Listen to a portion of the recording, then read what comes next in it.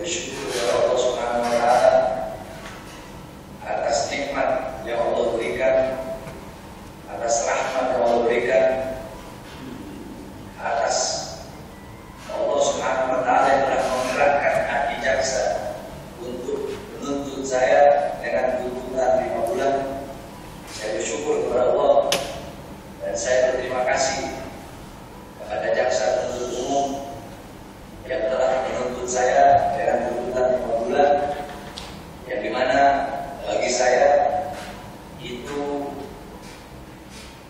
cukup, tidak tidak berat, tidak, tidak juga ringan itu. Makanya saya berterima kasih kepada jaksa yang telah menimbang, yang telah berlaku adil. Yang saya maksudkan jaksa dalam kasus saya, bukan jaksa yang lain. Jaksa dalam kasus saya. Terima kasih telah berlaku adil dengan menuntut saya lima bulan